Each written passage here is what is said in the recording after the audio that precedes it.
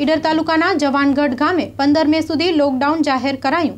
ઈડર તાલુકાના જવાનગઢ ગામમાં પંચાયતના સભ્યો અને સરપંચ દ્વારા સત્યાવીસ એપ્રિલથી લઈ પંદર મે સુધી પહેલેથી જ સંપૂર્ણ લોકડાઉન આપી દેવામાં આવ્યું છે.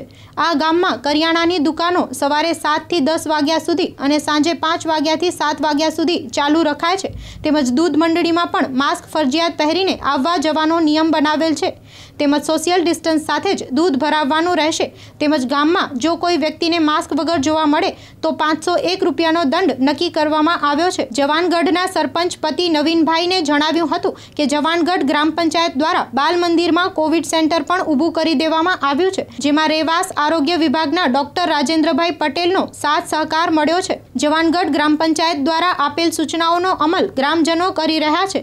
આજ દિન સુધી જવાનગઢ ગામમાં કોરોનાના કારણે એક પણ મોત થયેલ નથી. આવનારા દિવસોમાં પણ જવાનગઢ ગામમાં કડક વલણ સાથે આ નિયમોને લઈ પંચાયતમાં કોઈ પણ છૂટછાટ અપાશે નહીં.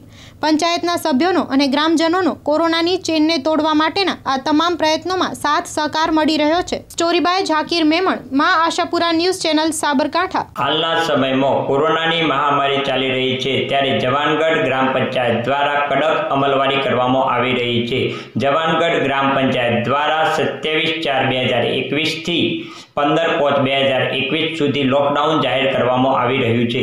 જેમાં કરિયાણાની દુકાનો ફક્ત સવારે સાતથી સવારે દસ વાગ્યા સુધી ચાલુ રાખવામાં આવશે. દરેક વ્યક્તિ દૂધ સેવા દૂધ મંડળીમાં દૂધ ભરાવવા આવતી વખતે પણ સોશિયલ ડિસ્ટન્સ દ્વારા લોકો દૂધ ભરાવે છે.